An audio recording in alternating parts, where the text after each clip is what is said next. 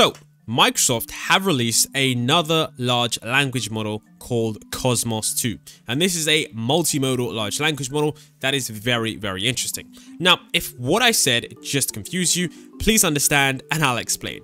Multimodal large language models are essentially language models that you can basically use with other modalities other than text. So for example, with this large language model, which is actually a working product and not just a research paper, you can actually submit images and get back a response. And this is the very big next step in artificial intelligence. As you know, ChatGPT has taken the world by storm, but every person right now who's working in artificial intelligence is trying to move the needle by looking at image recognition. And this is what Kosmos 2 aims to do. Now, Kosmos 2 by Microsoft is a little bit different because of how they tackle certain problems. And I do think the way they've tackled a multimodal large language model in this research paper and with the live demo, I will show you one later in the video, is arguably going to be how it's going to be done in the future. So let's take a look at the abstract so we can pretty much understand what they're talking about. So it says, we introduce Kosmos 2 a multimodal large language model,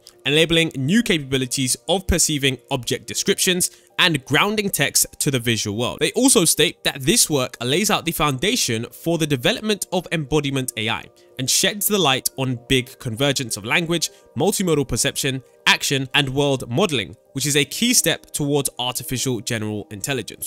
And essentially, if you don't know what artificial general intelligence is, that is an AI system. That's going to be an AI system that's capable of pretty much any task and it's going to be better than humans at literally everything. And this is a key step towards that. So what exactly is Kosmos 2 and what can it do? So what we're going to do is we're going to take a look at some of the examples from the research paper because they showcase just how good it is at recognizing images, categorizing them, and then of course grounding them in reality. So what we can now see are three separate images, okay? And what we're going to do is we're going to look at those images, the questions submitted with those images, and see if the AI can actually recognize those images. So right here, you can see that we have a picture of an emoji. And the question is asking the and the question asks the large multimodal AI, can you locate the left eye of the emoji?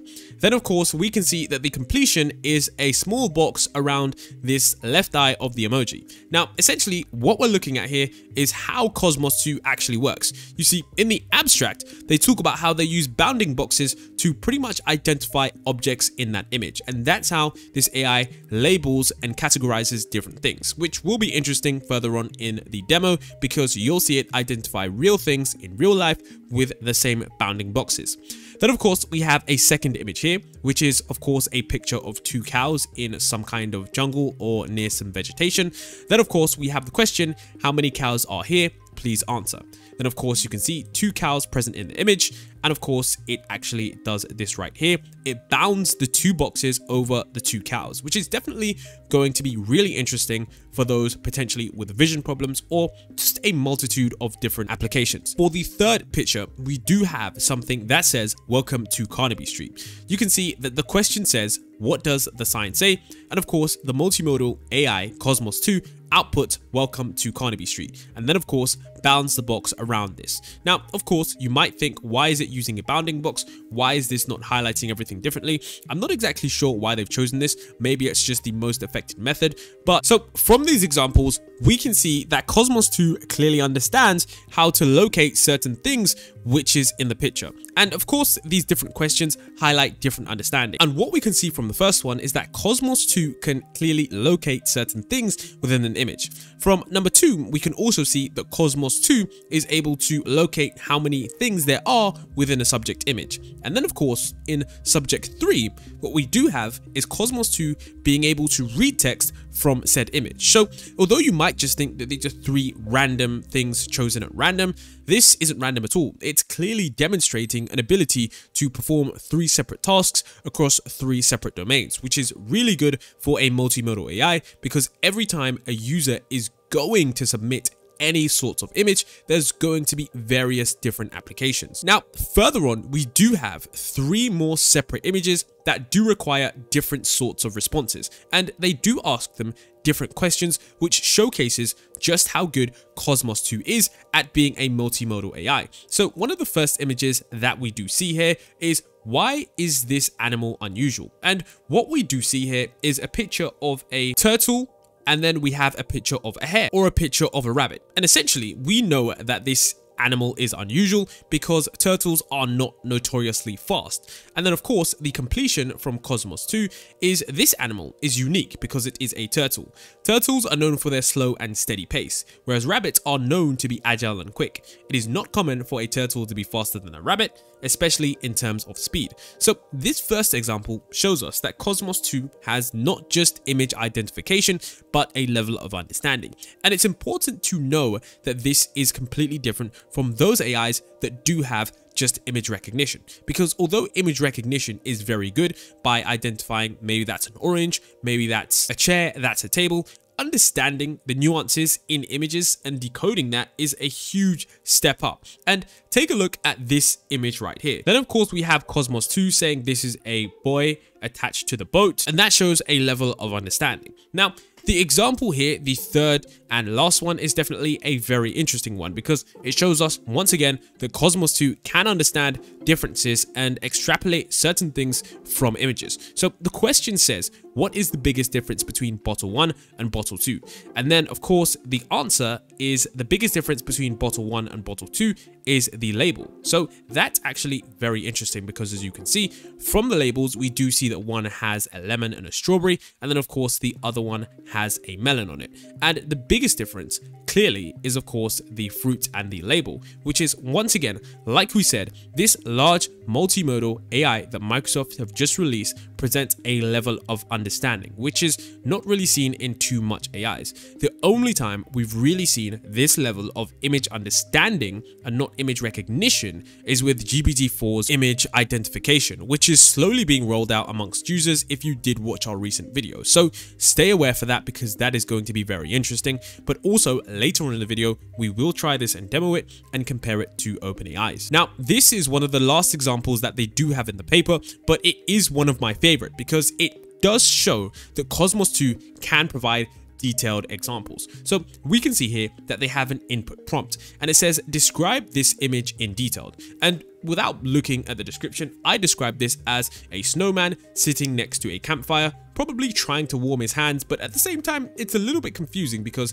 he could probably be melting. So it's a snowman at a campfire, probably having a hot meal. And then of course, we can see the complete description along with all of the things that this AI has managed to recognize and then craft together. So we can see that a snowman sits next to a campfire in the snow. He's wearing a hat a scarf, and mittens. There are several pots nearby, likely containing a hot meal for the snowman. The scene is serene and peaceful, with the snowman looking at the fire with a warm smile. Now, I got to be honest with you guys, that is a much better description than I did, and probably anyone who was looking at that image. I mean, being able to describe the sense of emotion, the sense of the aura, is definitely something that not everyone is capable to do. And then of course, being able to locate and identify exactly what every single piece of this image is about is something that is going to prove very, very useful. I mean, countless times on the internet, we always see images where people are struggling to identify certain things. And think about this in certain applications where you need to quickly identify what's going on in an image this is going to prove very, very useful. Then, of course, we have a bit more technical stuff, and this is where they describe how it kind of works. Now, I'm to pretty much gloss over everything here, and you can see that right here, we have a dog in a field of flowers and essentially what it does is it breaks everything down. It breaks it down into three parts. You can see it breaks it down into a dog, a field and flowers. So we can see that it then tries to merge this together and drop the substrings which it's called, okay? So it drops the flowers, it drops the field of flowers and then of course it says a dog in a field of flowers. So this is essentially how the AI is working together, getting every single piece of that image and then merging it all into one cohesive prompt. And I think this is very, very effective um, when it comes to providing us with the information that we need. Look at some of the results compared to other benchmarks, we will start to realize that Kosmos 2 is actually better than these. At first glance, we do see that other models like Visual BERT, Glip, Fiber, and Grill Lots of these models do have higher results, but what they don't have is zero shot capability, and that's what Kosmos 2 excels in. You can see here, Kosmos 2 excels in zero shot where four other models lack. Then of course, in this table, once again, Kosmos 2 and Grill are the only visual models that are able to successfully do this with their referring expression comprehension with zero shot accuracy. Though, so if you're wondering what zero shot is, in artificial intelligence, a zero shot refers to a scenario where a model is capable of performing a task without any specific training or examples related to that task. Instead, the model leverages its general knowledge or pre-trained capabilities to make predictions or to generate outputs for tasks it has never seen before. So essentially, this means that Kosmos 2 is a completely different level. Now, of course, let's get onto some of the live demos with Kosmos 2. Now, what's also interesting is that if you're wondering about the text capabilities of this model, because of course, as you know, it is able to identify images, well, it's actually pretty good. It's actually on par with ChatGPT 3.5 in terms of its ability to recognize text and to be able to predict the next word. So Kosmos 2 isn't just an image classifier or something that can understand images. It's actually really good at those natural language tasks that we do know and love from ChatGPT. So now, of course, here is the moment you likely have been waiting for. This is the live demo that Kosmos 2 presents us with. Now, I do want to state that after releasing this video, if the video does blow up, there might be a time in which this page might be down.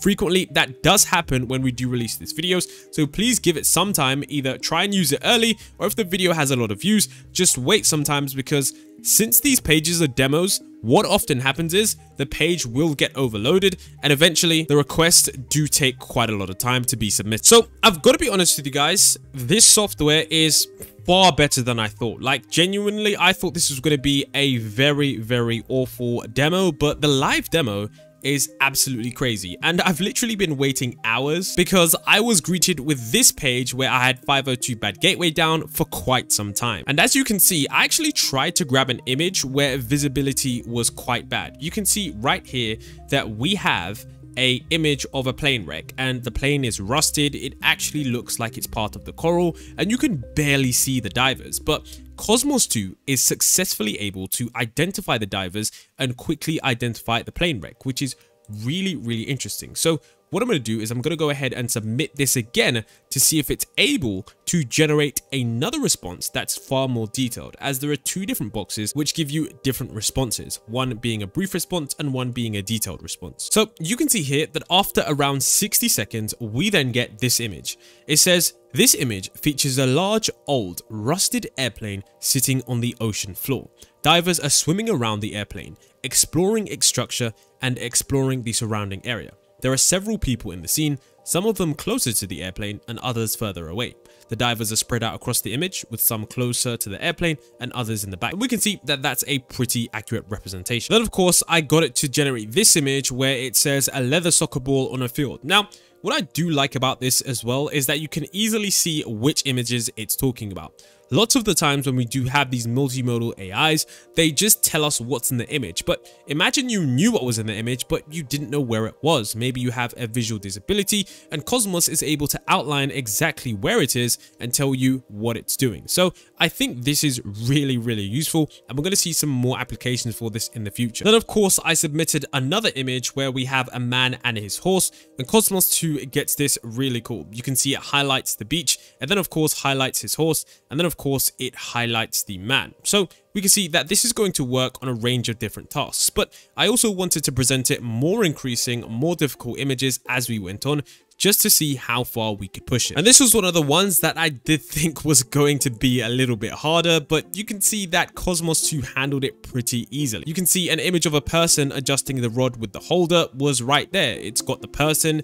it can actually put the bounding box over their arms, then of course the rod holder, and then of course the actual rod. So this is where you can see that it's able to identify every single piece of the image, and then of course realize what's in it. Then we did another example of an image that was a little bit more detailed and you can see right here that it actually managed to get this one as well. It highlighted the baked cod, highlighted all the vegetables around it and was able to say an image of baked cod and vegetables on a baking tray. And I did find that even though this was a brief description, it's still a pretty good description because when I did actually search this up, this does look like baked cod. So it is really, really good at identifying things in images. And of course, I didn't actually know this tool was called a grinder. That's why I input it into this image but it actually got it pretty correctly and I had to do a double check for a Google search to see if this was right. And you can see right here that it says close up of a worker cutting a granite slab with a grinder and dust is flowing off the pavement. So I don't think there's any image that it can't handle that well. It seems to be performing very well at sim simply at simply every image I throw at it. And this is why I say Kosmos 2 is really good because this was one of the images I threw at it and I thought there's no way it's going to get it. Now,